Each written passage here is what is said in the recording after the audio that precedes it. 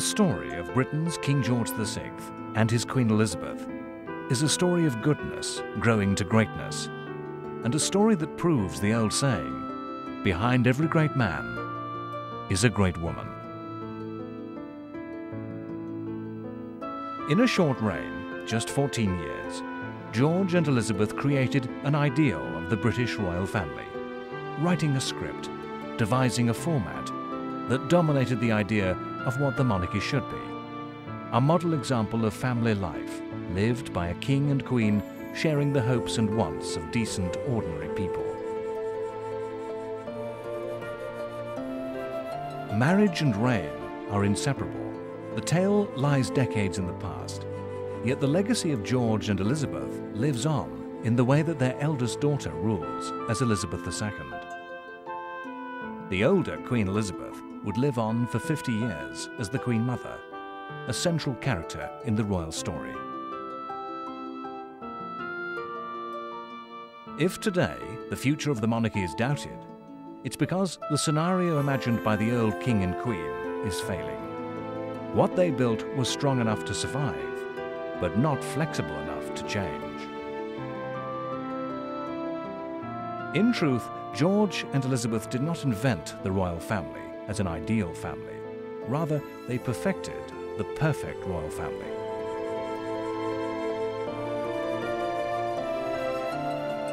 George VI's great-grandparents, Queen Victoria and her husband Prince Albert, were the very first to be sold to the British people as ordinary.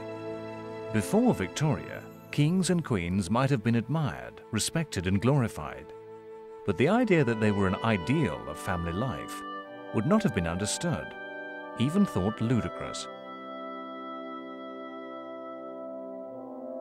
Even then, it was royal propaganda. Victoria and Albert had difficult times with their children, especially the eldest, who would become King Edward VII.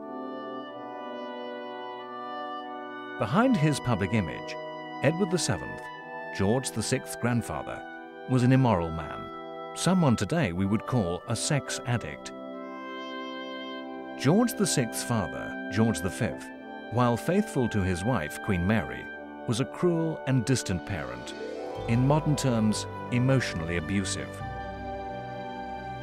Early images of the boy who would become George VI shows him, his brothers and sister, drilled like soldiers by their father.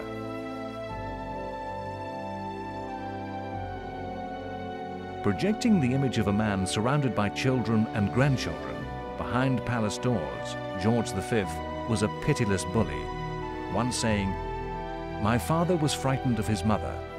I was frightened of my father. And I am damn well going to make sure that my children are frightened of me. There were physical beatings, but mainly ruthless criticism and fault-finding. The royal children could do nothing right.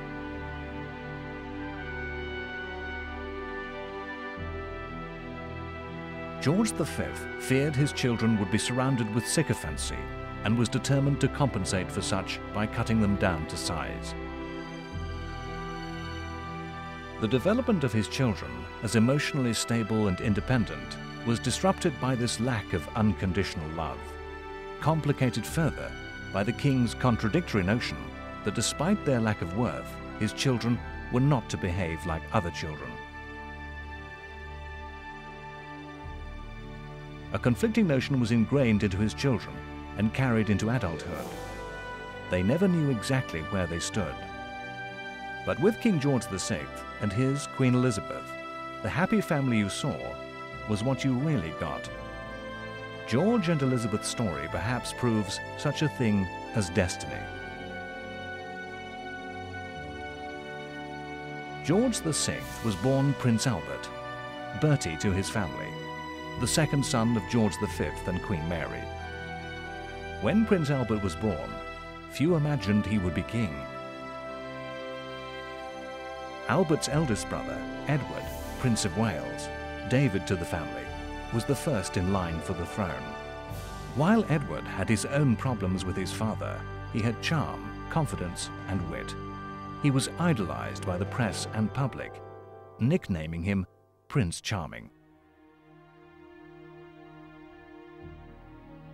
Bertie got used to being second in everything, just a spare. He was nervous, highly strung, and crucified by shyness. A natural left-hander, forced to be right-handed. He had a powerful stammer, and tormented by nervous twitches and uncontrollable rages. I'm sure that we are all happy to feel that, that the generosity of His Majesty. Struggling with his speech, Albert was viciously taunted by George V. The public speeches the stammering prince had to make were a personal hell. Albert was, however, a natural athlete, a superb shot, and good enough tennis player to play at Wimbledon. He joined and loved the British Navy, serving in the Battle of Jutland when the fleets of Germany and Britain clashed in 1915.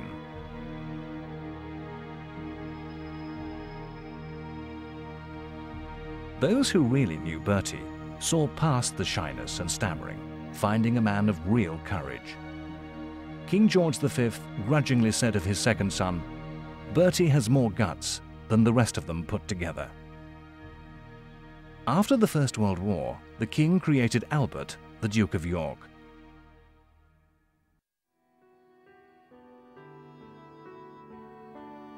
Prince Albert married Lady Elizabeth Bowes-Lyon on the 26th of April 1923. When they married, no one ever expected they would become king and queen.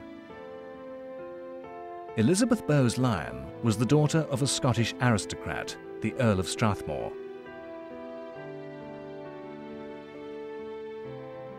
Born on the 4th of August 1900, Elizabeth enjoyed a childhood unlike her husband's, a time of happiness, fun, and a deep sense of security. Elizabeth's mother loved life and encouraged her children's education in culture and the arts. Lady Elizabeth's father was quiet, dignified, and conscientious about his position, believing wealth and privilege brought duty and responsibility. While Elizabeth's parents were devoutly religious, they were not joyless Puritans. Regular evening prayers were followed by cocktails before dinner. Elizabeth's childhood home, Glamis Castle in Scotland, was a nursing home for the wounded during the Great War, housing 1,500 soldiers.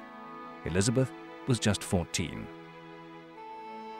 Lady Elizabeth was not fashionable or a great beauty, yet men adored her. She was a petite, dark-haired, blue-eyed debutante, elegant, with a beautiful smile. She was funny, confident, with a powerful personality, an incredible flirt, yet proper at all times.